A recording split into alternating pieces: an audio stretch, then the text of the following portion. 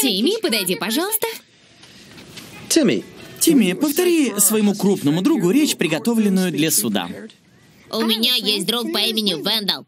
Он показывает смешные фильмы с совсем голыми дядями и дает сок, от которого я засыпаю. Я все понял. Он смешной и все время меня щекочет. Слышь, пацан, говорю же, понял. Он заставляет лизать то, чего я не хочу, и что-то сует мою попу. Боже, остановите его, прошу, хватит.